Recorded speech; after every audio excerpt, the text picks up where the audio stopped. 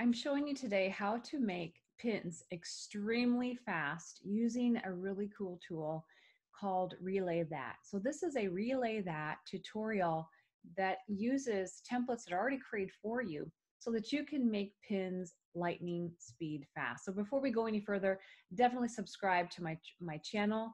I'm Teresa from pintrafficpower.com and hit the bell so that you can receive notifications every time I load up some new video tutorials. Let's get right into it. So let's take a look inside of RelayThat. When you first log in, the first thing you want to do is to create a new workspace. And in order to do that, you'll need to choose a preset.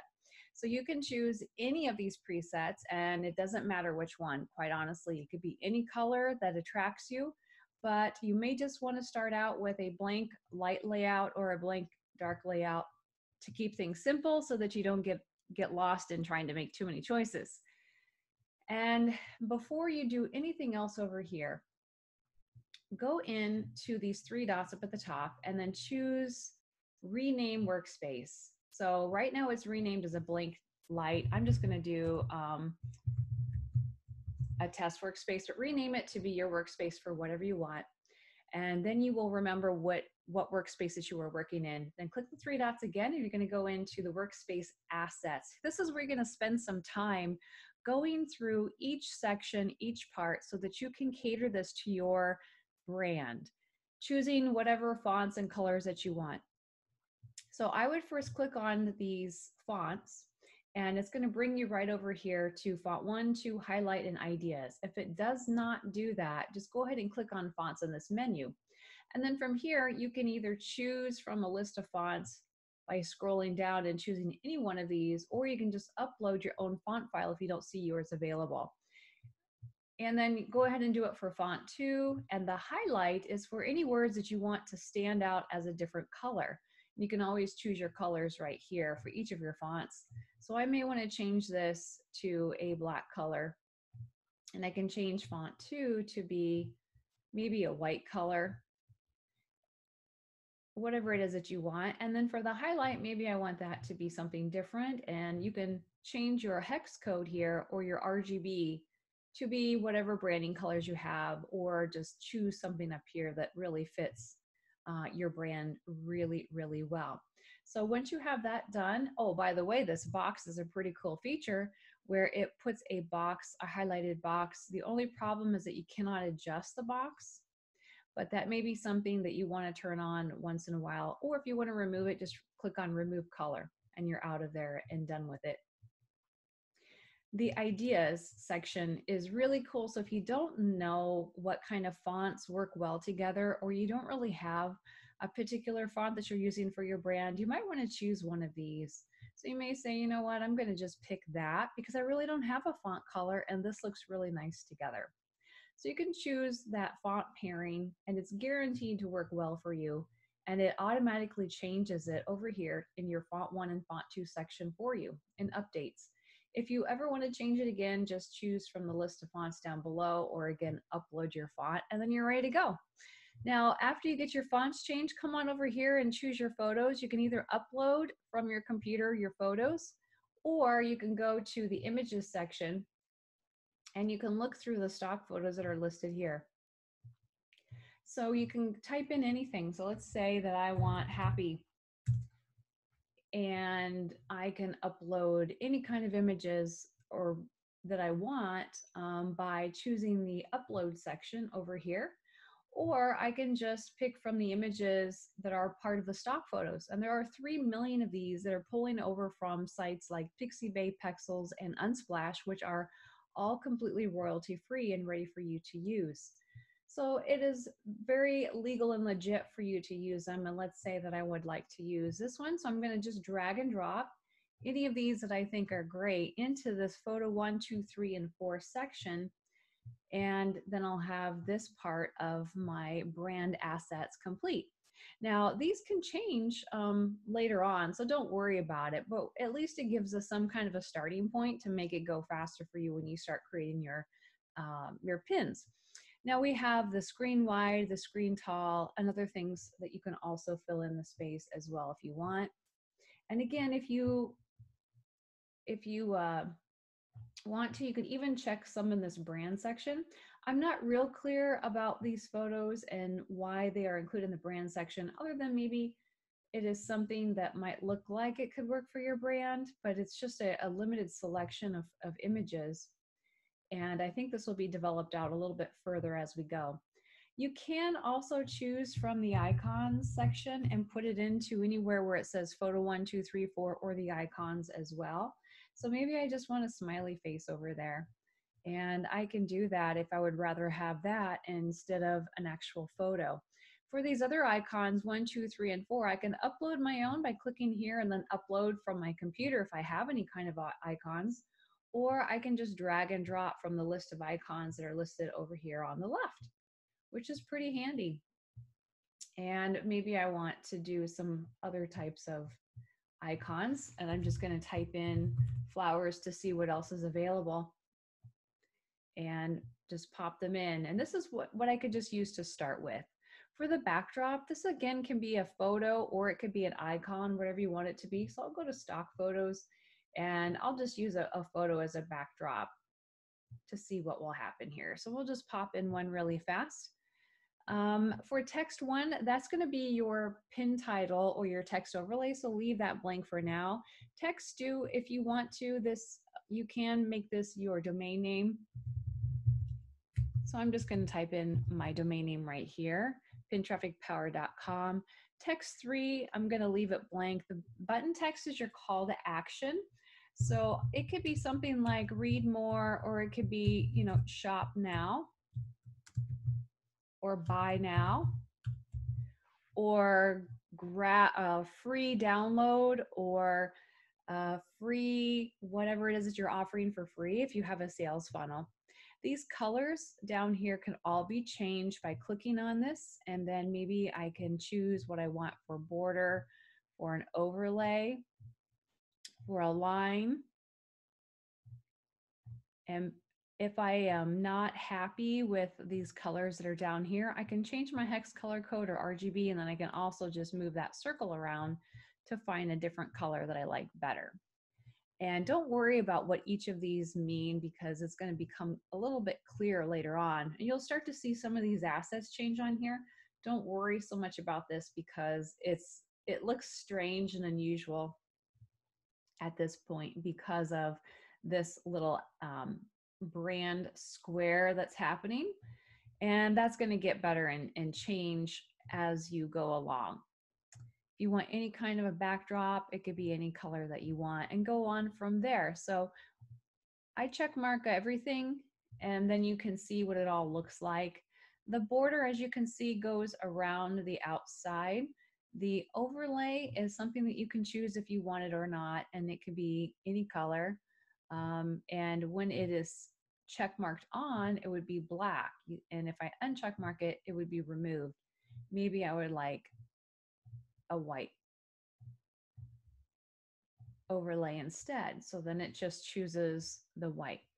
The line, if we uncheck mark it, you can see that the line was right here. That line is something that is on some of the layouts.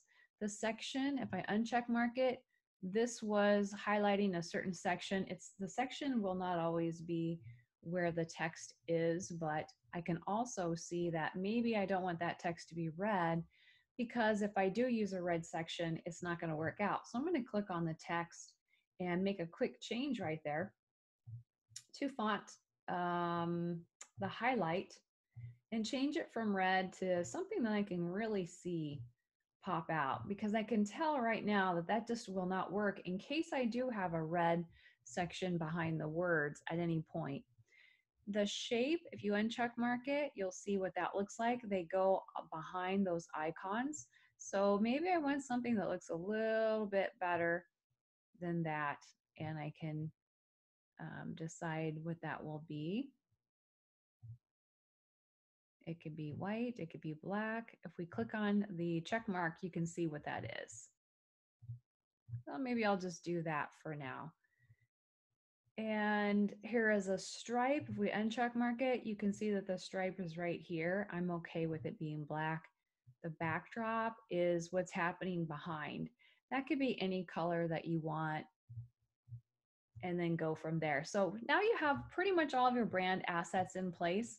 This actually works better than a function up at the top, which is the magic import. Now, at this point, the magic import is not working the best. It's supposed to take all of the information off of your website and pull it in as the assets automatically for you, but it's not picking the correct colors. It's not picking the correct logos. Um, so I would not use that function.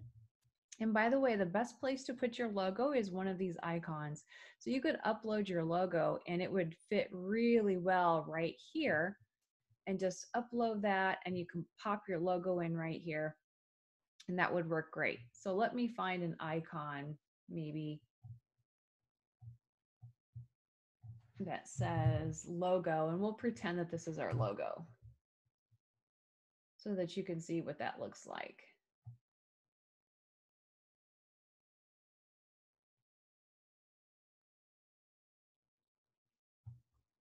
So we'll just use that for now.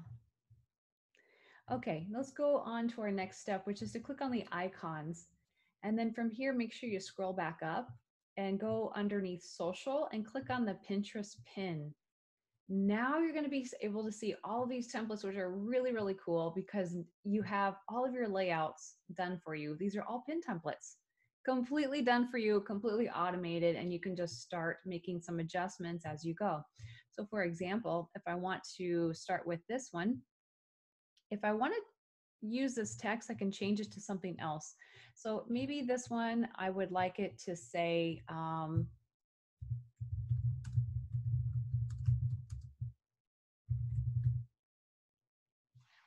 something like this. Maybe I'm wanting to target some uh, holidays or events, and maybe I would like it to say that. Now, if I want that to be highlighted, maybe it would be best to pop out the words Mother's Day. So I'm going to highlight Mother's Day by putting these curly brackets around it. Do a shift with the bracket on your keyboard, and then you can see that it turns to a different color. If I don't like that color, I can always go back to the fonts and scroll up to the top and change it. Another thing that I can do is I can put on anything down here that might help as well. And it looks like they're all check marks, so that's okay. So if I want to change that color, I can do it really fast and I have some presets already loaded up there and that looks a little bit better. Here I might want to change the photos so I can just go back to images and stock photos and I could say um, Mother's Day and see if there's any kind of images that would pop up or even just flowers is great.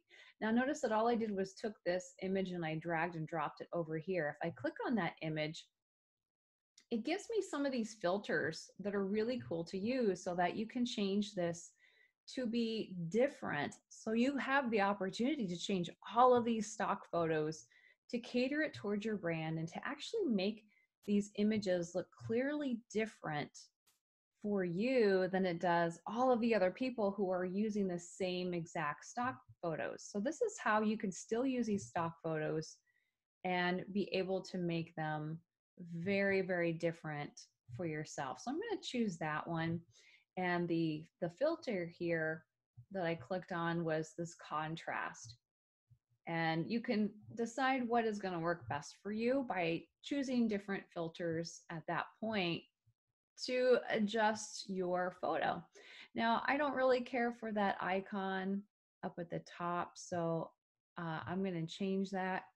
And maybe this icon, I would rather have it to, to be my logo. So I could upload my logo or let's go over to the images icons and let's just pretend that uh, one of these logos is my own current logo.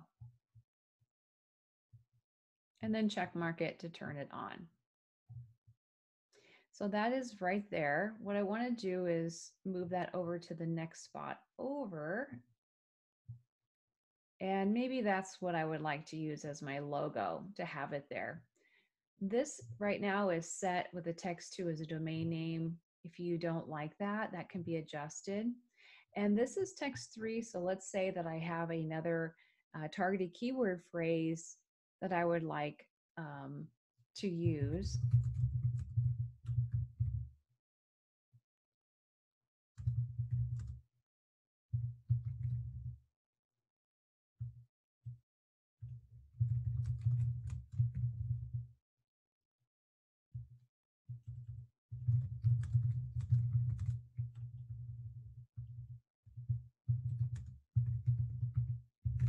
Going to type in something quickly there. And again, you can put brackets around any part of this that you want to, to make it stand out.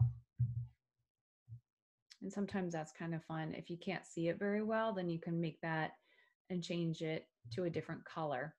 I can also decide that, you know what, I would rather have these changed around and be different. So I'm going to move them and swap them around. put them in a different location and see how that goes. See if it looks any better. Okay. And you just keep making some adjustments as you um, go along here. So we have that. If I don't want text four, I can remove it and that removes that little spot. So I'll show you where it was. You'll have to look at it closely. It was this white text over here. Now I could make that instead my logo and I will have to change the color of that text to be something different um, which means I'll also have to change the color of text two and three because they all go together in font in this font. So I'll have to change it to black, which means I need to change all of this as well.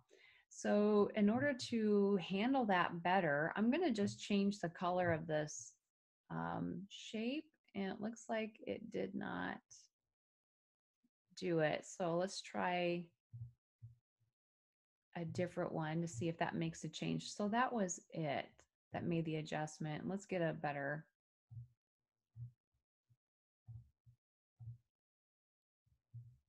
color and then we can go back and change uh, the text to be something that will be seen a little bit easier. So I changed it to white. How about we change it to black? Okay, now I also could just make that white or even a light gray or a light, you know, I could even change it to a pink, something that's really light that will work. And maybe it goes along with the picture in the background to make it easier. So you can adjust things to where it fits your brand, but also according to a holiday, a season, or maybe if it's for a particular person. This photo I'm not a big fan of uh, because it really isn't on point for Mother's Day. So let's find some uh, something that is more looks more like Mother's Day, and we'll just pretend that that is it. This could be your product, one of your products, or it could be a stock photo, wherever you want that to be. So here I can even change this filter to make it look a little bit nicer as we go. And there's even different hues that you can use as well. So I think we're going to choose that, or we can come in here and look for um, something, something else.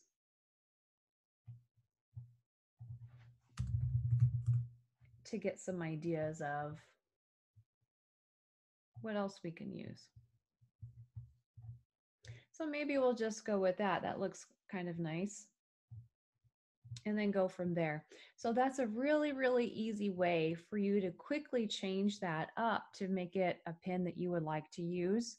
And that's it. If you like your design, just click on this Save Design button up here.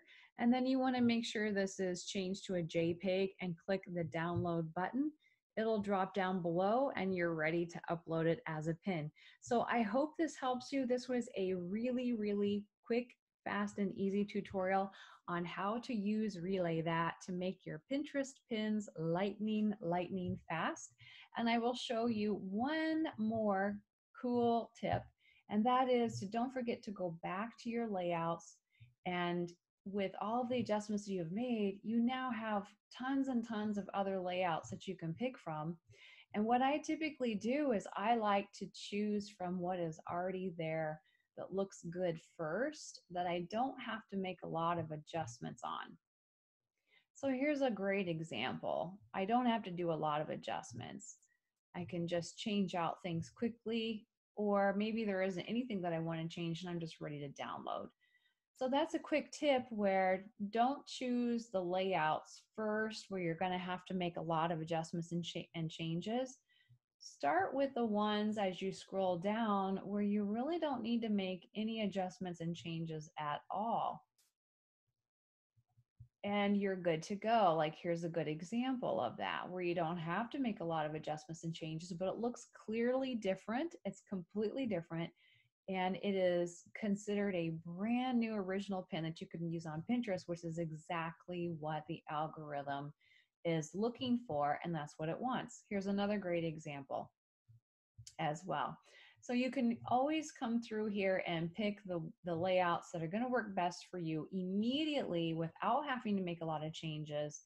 And then for the other layouts, you can go ahead and make some quick changes and adjustments and then you can go through again, see if there's any other layouts that are ready to go with the adjustments you've already made and choose those to download and then choose another layout to make an adjustment to and then go ahead and download those. So those are some quick tips in order to help you do this a little bit faster and easier so that you don't get caught up on clicking a layout like this and I've got to change everything on here, which is going to take me a little bit more time.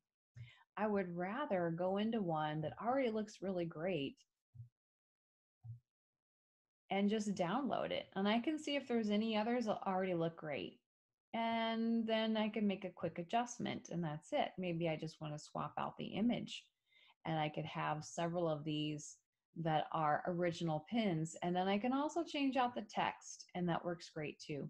So definitely change out the image, the text, the colors, whatever it is that you want, but then change your layouts periodically as well by picking first the layouts that look good without a ton of adjustments and then moving next towards you know changing some some minor details on an adjust uh, making adjustments and changing some minor details here's a good example where i only have to change a couple of things on this one and then I'm ready to download it and see what other layouts are available as well. So have fun with this tool. You're gonna really make pins a lot faster. You could probably create pins in less than two minutes. Time yourself. Many, many people are able to make these pins oh, about 100 pins in an hour, which is remarkable. We've never, ever been able to create pins that fast ever before. So have fun using the RelayThat tool. And if you want the tutorial, there is a complete step-by-step -step cheat sheet that you can grab and download quickly to help you walk through the tool and be able to make your pins even faster yet at lightning speed. There's going to be a link down below this video. Click on that link, go grab those cheat sheets and get started immediately.